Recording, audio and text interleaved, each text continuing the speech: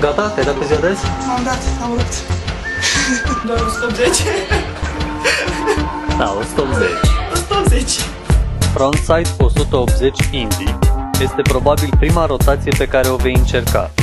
Are marele avantaj că vezi aterizarea pe tot parcursul săriturii, iar grebul te va echilibra în aer. Nu te arunca direct la 180. Probează mai întâi kickerul cu un ollie sau cu un greb. Îți vei face astfel o idee clară despre traiectorie și durata zborului. Când ești gata, dă la vale.